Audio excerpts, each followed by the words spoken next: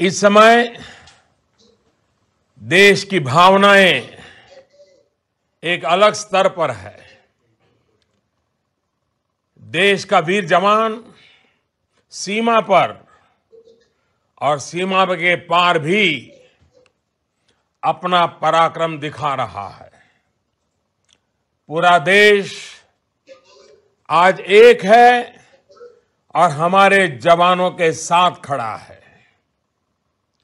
दुनिया हमारे collective will को देख रही है।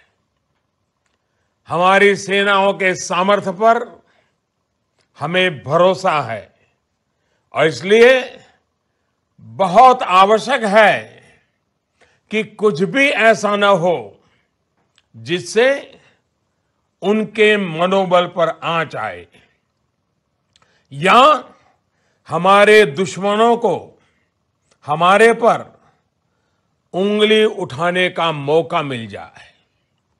साथियों, जब दुश्मन भारत को अस्थिर करने की साजिश करता है, जब आतंकी हमला करता है तो उनका एक मकसद ये भी होता है कि हमारी प्रगति रुक जाए, हमारी गति रुक जाए, हमारा देश थम जाए।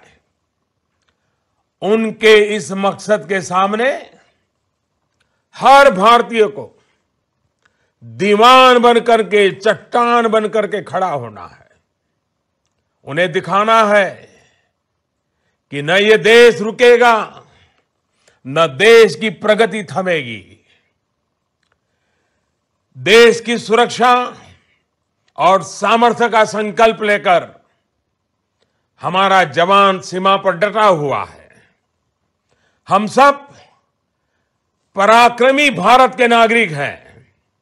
इसलिए हम सबको भी सिपाही बनकर देश की समृद्धि और देश में सौहार्द के लिए दिन रात एक करना होगा।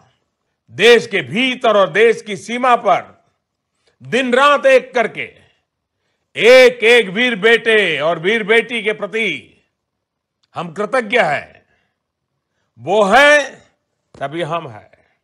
और इसलिए मेरा प्रत्येक देशवासी से आग्रह है कि राष्ट्र निर्माण के इस महायज्ञ में वो जिस भी दायित्व के साथ जुटे हुए हैं, उसे पूरी ज़िम्मेदारी के साथ निभाते चले।